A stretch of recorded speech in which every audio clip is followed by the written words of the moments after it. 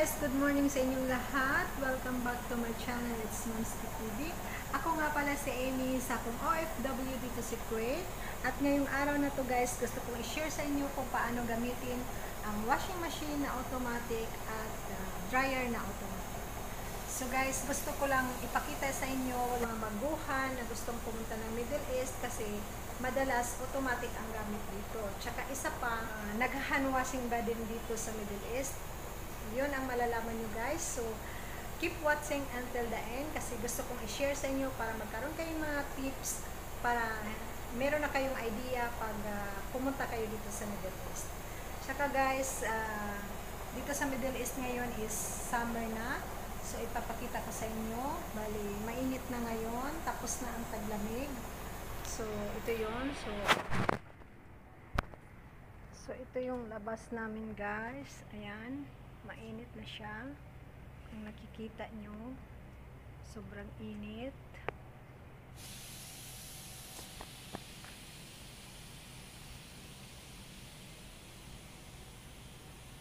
So pag uh, summer dito guys, talagang super init din siya. Talagang ramdam na ramdam mo sa balat mo. Pag taglamig naman, super lamig din. Ramdam din sa balat mo. So guys, ito yung washing machine namin. Bali nakasulat siya is Arabic. Pero meron siyang translation din na English. So, maglalagay tayo. Ganun din guys, pag hiwa-hiwalayin mo lang yung mga puti at saka ano, the same na maglaba tayo sa Pinas. So, ito yung sabon namin. So guys, ganito. Ito siya na portion. Bali, dito natin ilalagay yung sabon. Ito namang portion na to, ito yung sa downy. Ito yung sa downy.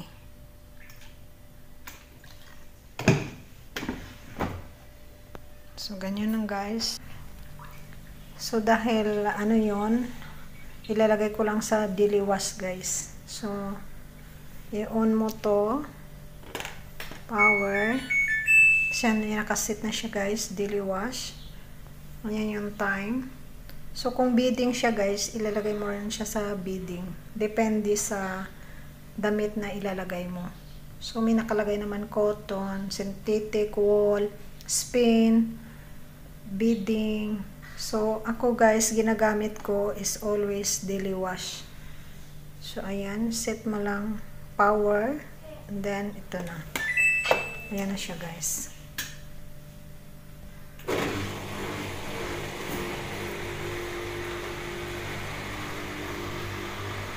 So, matatapos lang yan guys. Automatic. Tapos na siya, na-spin na siya.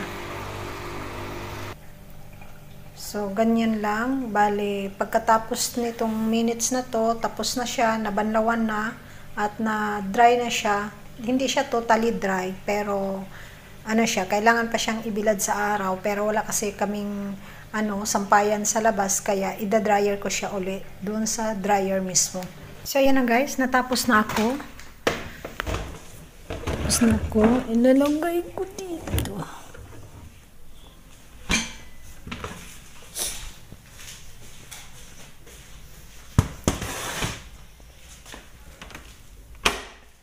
So, natapos na ako guys. Dry ko naman siya.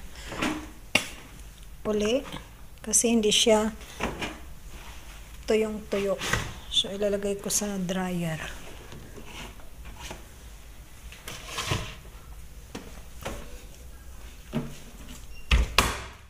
So guys, ito yung dryer namin. Ituturo ko sa inyo kung paano to gagamitin.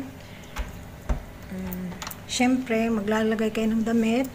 Ito, lalagay nyo. Pagkatapos ng i-washing, lalagay mo dito. At meron naman siyang mga instruction guys. So, kung nakikita nyo, may nakalagay sporty, um, kung anong klaseng damit. Doon mo siya isisip. So, ito, naka-off siya. Lalagay ko dito. Yan, naka-off. Pagkatapos, lagay ko dito. Nilagay ko sa cotton kasi cotton yon So, pindutin mo yung anti-care and start. So, yan guys. Antayin nyo lang matapos yan. Automatic na yan matatapos. at matutuyo na siya. So, ayan na guys, natapos na siya. Pero, hindi pa tutuyo. Kulang pa guys. So, pag kulang pa siya, siset mo again. Pero, ganyan na lang. 29 minutes. So, ulitin mo lang guys pag hindi pa siya tuyo. Nakapagtapos na ako ng dryer guys. Ipapakita ko lang sa inyo kung ano yung disadvantage niya. So, ito yung guys, habang nilalabhan mo, nasisira siya, tsaka nagiging manipis pag towel. Pantalon naman guys, so ito yung leggings ko, ang nangyari, nagiging maliit. Kung nakita niyo.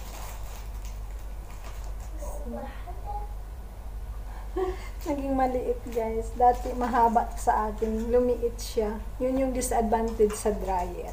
Ang advantage naman niya, syempre laking tulong kapag tag-ulan. Tutuyo talaga siya. Lalo na't mag nagmamadali ka. So, ganito ang nangyari. Biglang lumiit. Ayan guys, dati mahaba to hanggang dito. Ngayon, umigsi siya. So yun guys, talagang iigsi siya. Kahit yung amo ko nagsabi, bakit lumiit?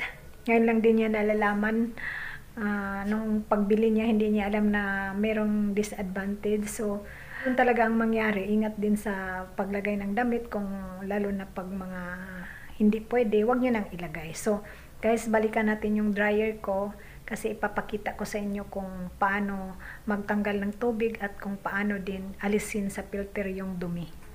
So, let's go. Tapos dito guys, i-check mo rin pala siya kasi dito yung mga tubig na punta. So tanggalin mo to siya.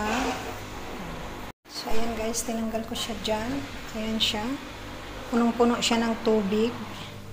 So kailangan nating itapon yung tubig nito. So ayan.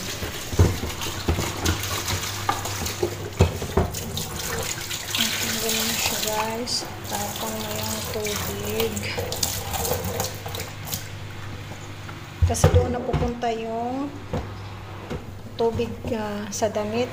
Dito napupunta lahat. Kaya natutuyo yung damit.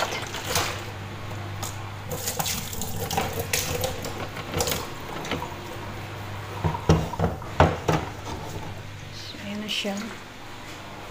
Tapos, lagay mo lang siya uli dito. Lagay mo lang siya dyan. Ganyan. Tapos dito guys, kailangan mo rin siyang i-check. Bali, ito yata yung filter niya. Kasi dito napupunta yung mga damit. So, kung nakikita nyo. So, buksan ko. Pakita ko sa inyo. So, ayan guys. So, habang nagda-dryer ka guys, kaya siya naging manipis. Ito yung naku na pupunta dito. Sa mga damit to eh. So, tanggalin natin to. So, kailangan tanggalin siya, guys. Ito. So, kailangan mo talagang check-check-check mo. See, dito siya napupunta. Ito yung nakukuha, bali, see? Ito ata yung sa damit kaya naging manipis kasi dito. Ito yung hibla ng damit. ingatan mo lang guys na hindi to siya mabutas ingatan mo lang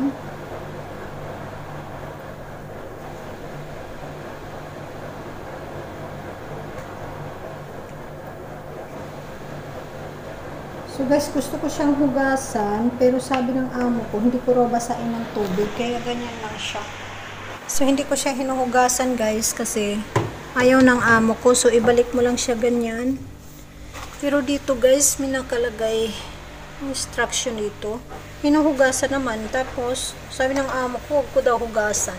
So, hindi ko rin hinuhugasan. Ganyan lang siya. So, ganyan lang guys. Marin ako na ng halian. Uh, 2 o'clock ang pananghalian ko. Nakapagluto ako ng pagkain ko at uh, natapos na din. So, ang hindi ko lang natapos guys yung pag-dryer. Uh, kasi hiwalay, kailangan kasing hiwa-hiwalay dapat. So guys, huwag nyo isipin na pag nandito tayo sa abroad, eh, lahat eh, automatic na So, gaya ng sabi ko, kung meron bang hand wash, meron din yun guys. Hindi maiiwasan kasi may mga damit naman na masilan na hindi pwedeng ilagay sa dryer o hindi pwedeng ilagay sa washing machine. So, kailangan talaga i-hand wash. So, at least guys, uh, naipakita ko sa inyo, na-share ko sa inyo kung paano gamitin yung washing machine automatic at saka yung dryer. So, pagbigay ko ng tips sa inyo, ano ang disadvantage at advantage sa dryer para alam niyo na kung nandito kayo sa abroad at kung masilan yung damit ni madam na hindi pwedeng, sa tingin nyo, hindi siya pwedeng ilagay doon sa dryer. So, dapat hindi nyo na ilalagay kasi nagsishrink talaga. So, ihahanwas nyo na lang. So, guys, hanggang dito na lang ako. See you my next video. I, I hope na may natutunan kayo sa mga ipinakita ko. So, bye-bye! Thank you so much mga kabayan. If nagustuhan yung video na to, please subscribe my channel Mansky TV and please don't forget to hit the notification bell at pakipindot na rin sa all para updated kayo sa mga latest video na in-upload ko tungkol sa buhay kadaman ng Middle East.